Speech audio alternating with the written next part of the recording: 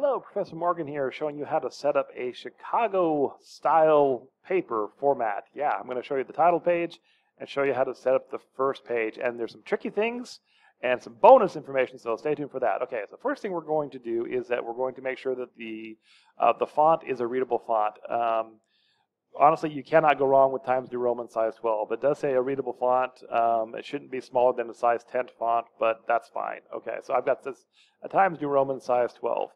I also need to check out the margins. So for the layout, I'm going to click layout here. Okay, go to margins, and generally it's one inch. Um, you know, that's kind of standard. So we're going to go ahead, and they have a little bit of flexibility with that, but folks just use one inch. Okay, so click on that. And then the other thing I need to do is make sure that everything, all the paragraphs are set up to be double spaced. Okay, so how I'm going to do that is I'm going to go to the paragraph button here, this area. This is under the home section, and I'm going to click on this little button right here for the paragraph settings. And I'm going to change the line spacing to double. Okay, now in Microsoft Word, if you fall asleep to my melodious voice, wake up because you need to click on this box. If you do not click on this box, it will add a space between paragraphs. Um, that's we don't want it to do that. We don't want it to add a space. Okay, so you have to click that box. If you don't, then it'll add extra spaces between paragraphs, but everything should be double spaced. Okay, so double spaced. Click the box. Hit OK. Um, now what we're going to do is that we need to center the text, the little, the little flashing cursor there. So I'm going to go to center. Boom. Now, for to, your title, it needs to be about a third of the way down the page. And uh, so I just did some testing, and it's about eight spaces. So I'm going to hit the enter button eight times. There's one, two, three, four, five, six, seven, eight. All right, now I'm going to kind of scroll down a little bit, and I'll I'll show you. Trust me on this one, okay? And now I need to put the title in. Now the title, there's two things that you should be aware of the title. Number one, in the latest version of um, Chicago Style, it, the title should be in bold. So I'm going to click on the little B up there to make it in bold. And I'm going to call this um, uh, Writing a Paper in Chicago Style. Okay. Now you'll notice that I didn't cap that I that I capitalized writing and Chicago and style, but I didn't capitalize uh, these words that kind of follows the same formatting as like MLA, where you capitalize like uncommon words, but common words you don't. Okay. Um, and then the next thing I'm going to do is turn off the bold. Boom. Okay. And then I'm going to hit the enter button three times. One, two, three. The next thing is the, the name of the person writing the paper. So in this case, oops, it still got bold on. We don't want bold. Turn the bold off. Okay, Jason Yes, I can spell my own name, Morgan. And then I'm going to hit enter and then put in the name of the class. So I'm going to call this English 217. Put a colon and then the name of the class, which is Introduction to Creative Writing. Okay. And then I'm going to hit the enter button and then I'm going to put the date. Now, Chicago style allows you to use both the American style and the non-American style when it comes to the date. The American style is um, where we put the month first, and then the day, and then the year. That's what you're, you're going to see a lot in America. Um, outside of America, what you'll end up seeing more often is this, where it, it goes day, month, year. Now, notice there's no commas if you go day, month, year, because if you go from the shortest period of time to the longest period of time, you don't need a comma. So 3 September 2025, no commas needed. But since we're going to do it out of order, September, then we need a comma. So there's that. Okay. Now you're like, yeah, but is that really a down? Uh. So what I'm going to show you is I'm going to just zoom out a little bit, have you look at the whole front page there. Huh? So you'll notice that that's roughly a third of the way down. I don't know, maybe you could do seven.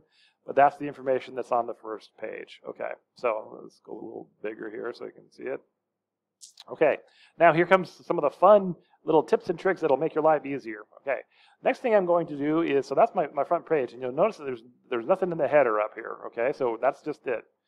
And so what I want to do now is I need to start the next page. So a trick, a nice trick to go do is after the date, go to Insert and hit Page Break. and it will take you down to the top of the next page. And then I'm going to go back to home and make sure that it is back to left aligned. Okay.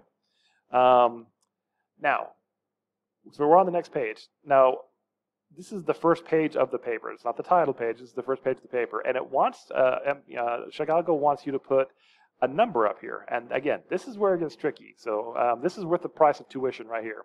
So I'm going to get into the header. So I'm just going to double click the top of this page here, double left click, boom, boom, and it brings up the header section.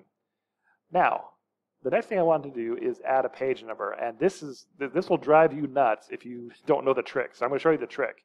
So I'm going to go to page number, okay, top of the page, and I'm going to go to plain number over here because we want it on the right hand side, okay, and you're like, great, but that says two.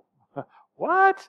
Well, let me show you a couple of things. First thing you want to do is just kind of right, uh, left click rather, highlight it, and then after you've done that, then right click on it and just check to make sure it's the right font. It is, okay? But you're like, yeah, but it's not supposed to start at 2. I know it's not supposed to start at 2.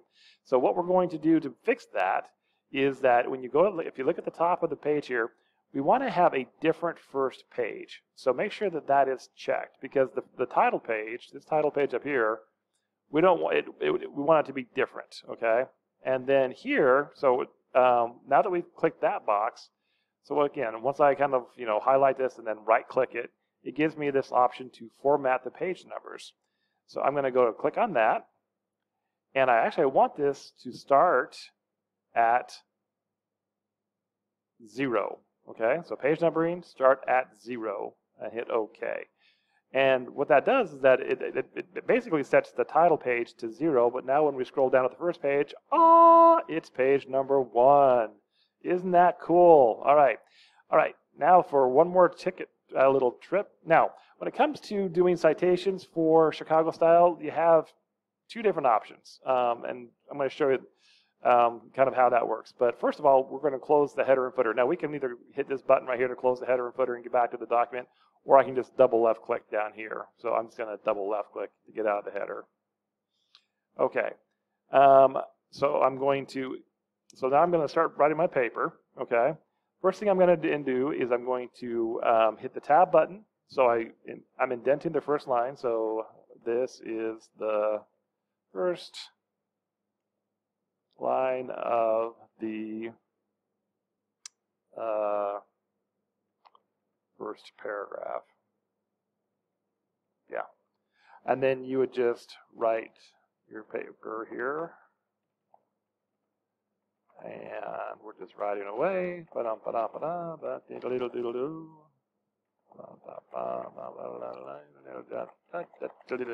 Okay. And then we'll put a period. And now um, I'm going to hit the enter button to get to the next thing. Now, it, when I'm going to start my next paragraph, make sure I hit the tab button again. Okay. Again, there's multiple ways to do this. This is just one way. And then I'm going to just say, I'm going to, I'm going to cheat here a little bit. I'm going to just copy this. and I'm going to paste it there. This is the first line of the smarter, not harder. Okay. That's not plagiarism because I'm just doing this. Okay. And then you write more of this uh, wonderful uh, stuff that we're working on. Okay. But let's say now we have a quote. Okay. So this is bonus stuff. So here's the quote. I have a quotation mark here. Um, and the quote is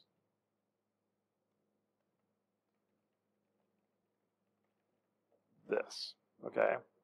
Now, when it comes to um, doing the um, citations, you can either do it with the date and the name of the author, which is very similar to APA style, and we're not going to go into a lot of detail. But if you're been, if you're being told that you want to that you're supposed to do footnotes, I'm going to show you a couple of tricks to do the footnotes. Again, this is just about formatting. Okay, so I'm going to finish that quotation. So if I want to put a footnote here, I've got a couple of different options to do that. Okay, so um, what I could do is I could go to references. Okay, right there, and then insert footnote. Boom. And you'll notice that what it does is that it adds a one right there but it also adds a footnote down here where we could include that footnote information. Footnote info. Okay. So Now let me show you a, a, a kind of a cool shortcut. So again, I'm just going to copy this whole paragraph here, except for the footnote. I don't want your footnote. I love you, but I don't want you right now. I'm just doing this. Yeah, okay. Make sure that's indented. Okay, so let's say again, want to put a footnote. So if you don't want to have to go to references and add a footnote, here's a there's a shortcut. Are you kidding me?